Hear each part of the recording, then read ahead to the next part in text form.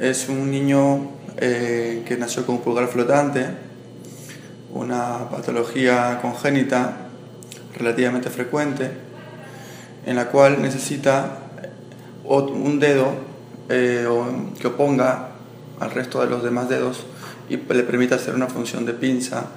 Y como venimos realizando microcirugía en conjunto, pues le planteamos la posibilidad de transferirle un dedito del pie a la mano.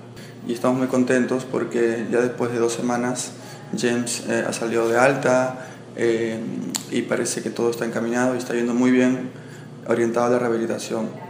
Retirar todo lo que era ese apéndice digital y reconstruir la función de la mano, de la función del pulgar, todo lo que era la oposición, la flexión, la aducción y la extensión. Para ello hemos tenido que usar no solamente un dedo del pie con todos sus tendones y nervios, sino también hemos tenido que hacer transposiciones musculares y tendinosas.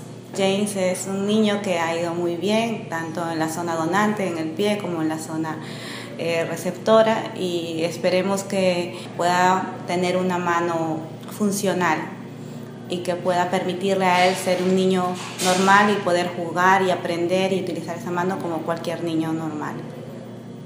La invitación a todos los niños y padres que tengan algún problema con alguna malformación congénita en la mano a acercarse al Instituto Nacional del Niño en San Borja.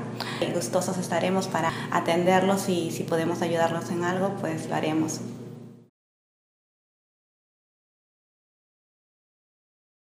Mi nombre es Jessica Lázaro Flores, eh, vengo del distrito de Villa María del Triunfo. Me enteré de la campaña que iba a haber de manos y desde la, la primera vez que he llegado me han atendido muy bien y eh, mi hijo ha nacido con su pulgar flotante, eh, es un, algo congénito.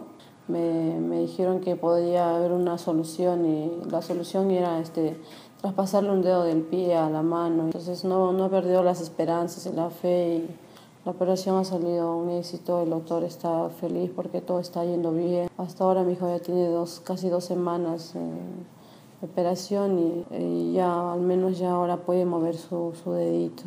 Y de verdad estoy muy agradecida a este hospital y, y, a todos los doctores en general porque es un hospital muy, muy avanzado y en cuanto a los niños una buena atención y bueno, decirle a, a todos los papás que tengan confianza en este hospital, es un muy buen hospital, que en el Instituto Nacional de Salud de Niños de San Borja.